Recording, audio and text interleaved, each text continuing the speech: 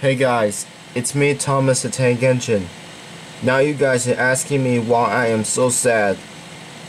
Because 3,000 people were killed on September 11, 2021. It's also known as 20th anniversary of September 11th.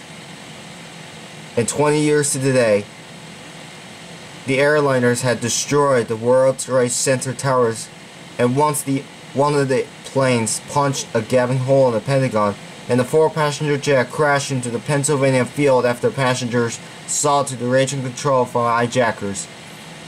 That was really very horrible. That's so sad news.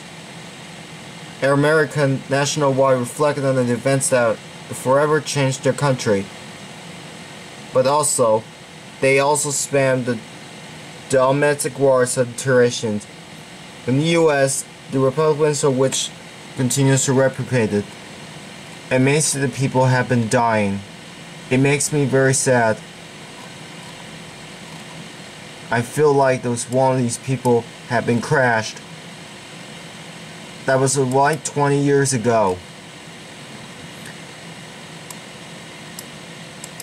And one time, it was not in 9 9:03 a.m two World Trade Centers have been had been crashed, and the, and the towers got collapsed at 9:59 a.m. That was very extremely horrible. The first plane was hit the target was an American Airlines Flight 11.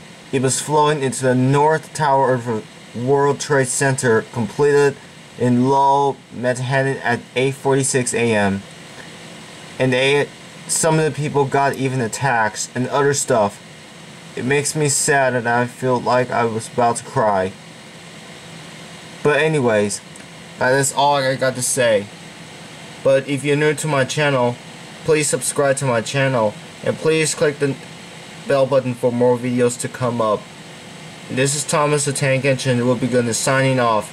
I will see you next time in this video. And we will do our best to make more videos and stuff.